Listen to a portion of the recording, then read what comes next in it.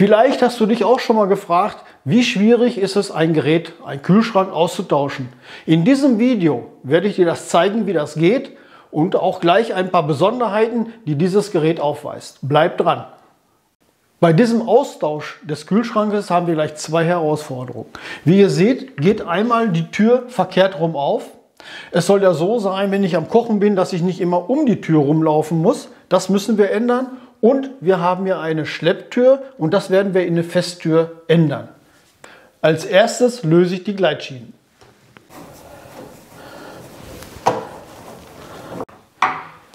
Nachdem ich die Befestigung gelöst habe, kann ich die Türen trennen, also die Kühlschranktür und die Fronttür.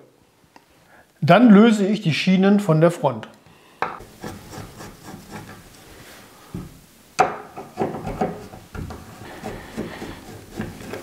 Diese Vorgehensweise ist natürlich nur für die Schlepptür. Wenn ich eine Festtür habe, da muss ich natürlich etwas anders vorgehen, weil ich hier oben ein Blech habe, wo die Tür eingerastet ist. Also sie ist ja direkt an der Kühlschranktür befestigt, die Front.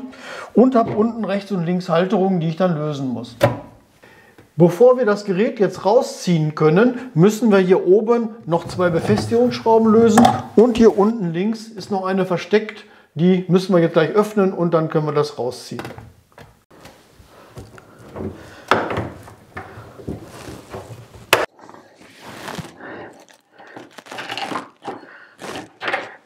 Nachdem ich die Schrauben gelöst habe, ziehe ich das Gerät ein Stück vor, um zu schauen, ob es auch lose ist.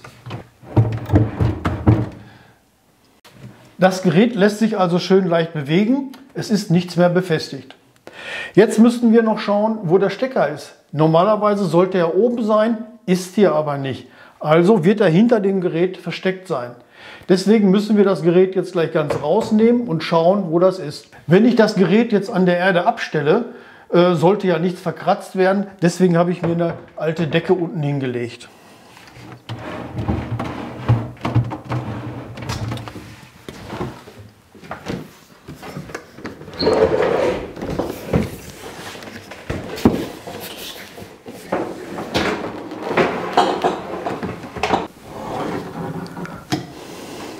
So, das Gerät habe ich rausgehoben. Ich muss es leider alleine machen, weil ihr ja gesehen habt, hier ist überhaupt kein Platz, dass noch einer mithelfen kann. Aber ein Kühlschrank ist ja nicht so schwer wie eine Waschmaschine, das geht schon.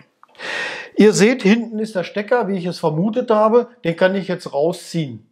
Und noch eine Bitte an Hausfrauen und an Hausmännern.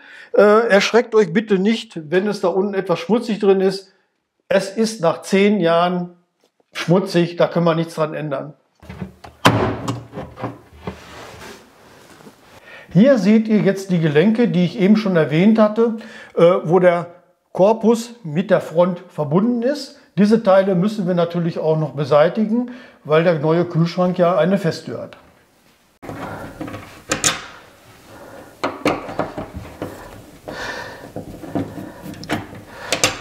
Nach dem Lösen der Gelenke und Rausnehmen der Schrauben kann ich die Tür jetzt rausnehmen.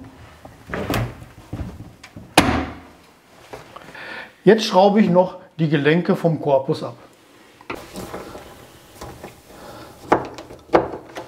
Nachdem wir die Tür ausgebaut haben, überprüfen wir, ob alles glatt ist. Es wird nämlich eine Sache passieren. Hier, wo die Gelenke gesessen haben, sind Kunststoffbuchsen drin, wo die Schrauben drin befestigt waren. Die stehen vor. Die müssen wir beseitigen, abschneiden, plan machen, damit sie hinterher beim Einbau nicht stören. Dazu habe ich hier ein Holzstemmeisen und kann das hier ansetzen und vorsichtig wegmachen. Ihr seht, so ist das schön plan. So gehe ich natürlich jetzt bei allen vier Löchern vor.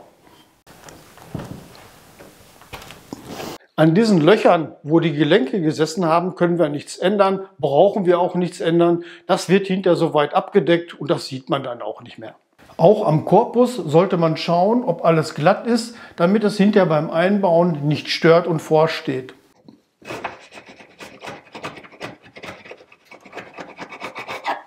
Wir haben jetzt alles für das neue Gerät vorbereitet.